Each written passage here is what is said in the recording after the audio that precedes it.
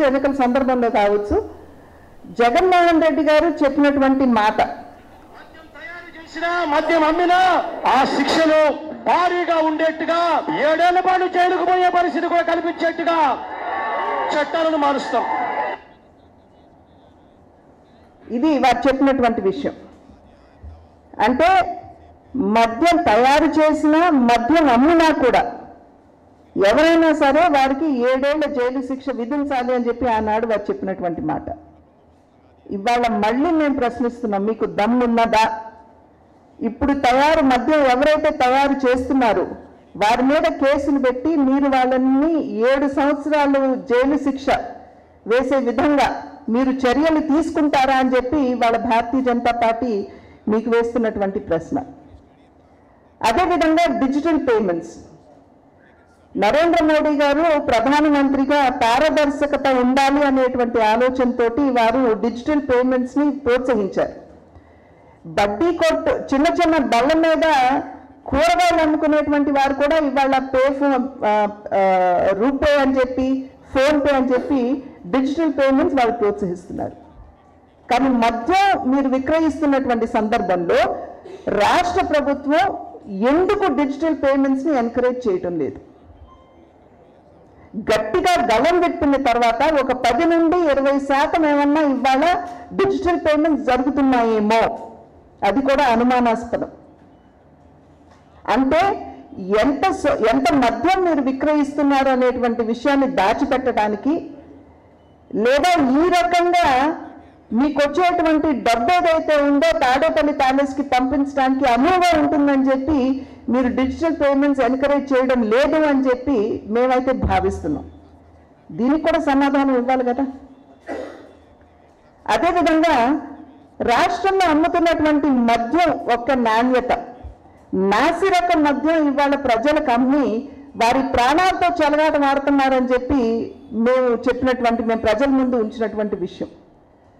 దానికి నిదర్శనమే నేను చెప్పాను. మేము హాస్పిటల్స్ వెళ్ళాం.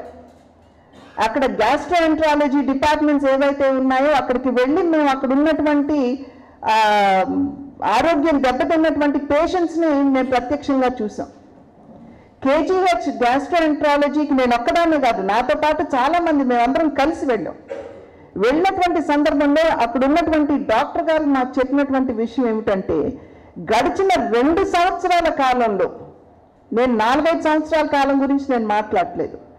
గడిచిన రెండు సంవత్సరాల కాలంలోనే లివర్ సిరోసిస్ కావచ్చు ఆల్కహాలిక్ లివర్ సిరోసిస్ ఆయన వాడిన పదం కూడా నేను చెప్తున్నాను. ఆల్కహాలిక్ లివర్ సిరోసిస్ కావచ్చు లేకపోతే మద్యం సేవించడం వల్ల వచ్చేటువంటి పాన్క్రియాటైటిస్ వంటి వ్యాధి కావచ్చు కిడ్నీలు దెబ్బతింటం కావచ్చు వీరి సంఖ్య పాతిక శాతం పెరిగిందని చెప్పి స్వయంగా అక్కడ ఉన్నటువంటి డాక్టర్ మాకు చెప్పినటువంటి మాకు ఇచ్చినటువంటి వివరణ.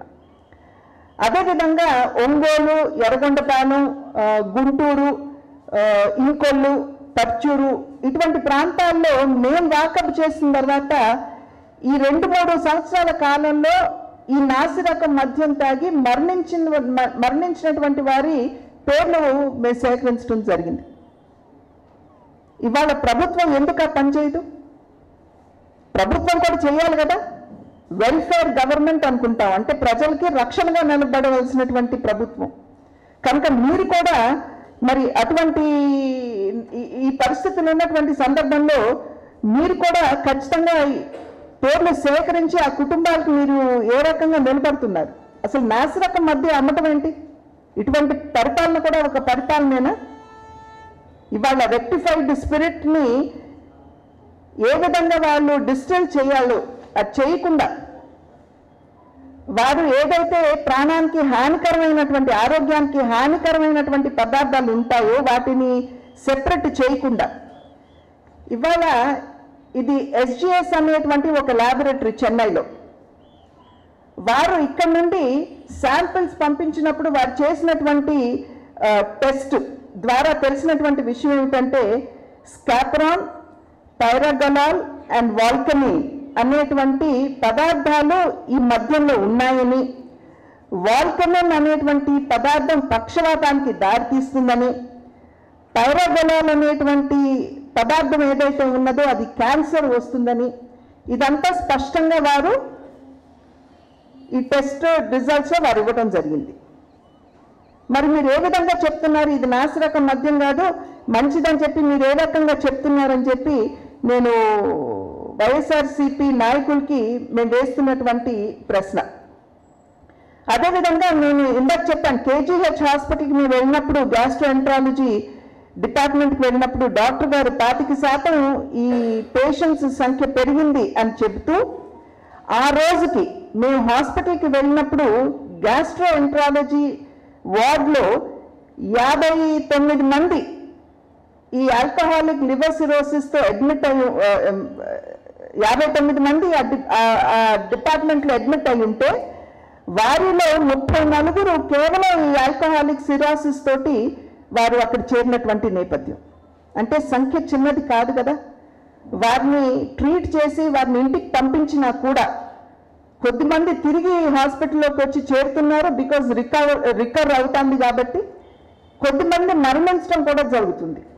నేను ఇంతకు ముందు కూడా కాన్ఫరెన్స్లో చెప్పాను. గుంటూరులో ఒక మద్యం షాపులో వివరణ అడిగినప్పుడు ఆ మద్యం షాప్కి వచ్చేటువంటి వారు యాభై మంది ఈ నెల రాలేదు అని చెప్పి అతను చెప్పాడు. ఎందుకు రాలేదు అని చెప్పి కనుక్కున్నట్లయితే వారు మద్యం సే తీసుకున్నటువంటి సందర్భంలో సేవించినటువంటి సందర్భంలో ఆరోగ్యం దెబ్బతిని మరణించారు అని చెప్పి అక్కడ తెలియవచ్చు